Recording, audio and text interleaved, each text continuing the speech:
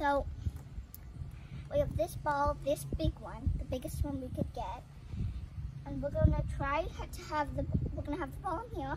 We are going to try to get it in any one of these. You can pick it up and do, you can have it in here, throw it in here, and then you can pick it out and back in and throw it in here.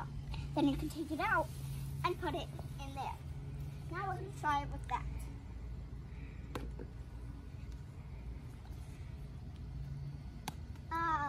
So close.